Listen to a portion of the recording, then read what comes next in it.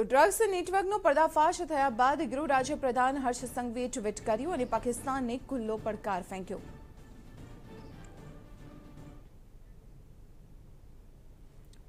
તો હર્ષ સંઘવી દ્વારા ટ્વીટ કરવામાં આવ્યું કે પાકિસ્તાનના ડ્રગ નેટવર્ક પર ગુજરાત એટીએસ કોસ્ટગાર્ડ એનસીબીની દરિયાઈ સ્ટ્રાઇક, જેટલાને મોકલશો તેટલાને પકડીશું. વેલકમ ટુ ગુજરાત જેલ જિંદગી વિતાવો કાળી કોટડીમાં. આ ટ્વીટ ગૃહ રાજ્યપ્રધાન હર્ષ સંઘવી દ્વારા કરવામાં આવ્યું છે અને જે રીતે પાકિસ્તાન તરફથી ડ્રગ્સ મોકલાઈ રહ્યું છે તેને જોતા તેમને પાકિસ્તાનને આ એક ચેતવણી પણ આપી છે.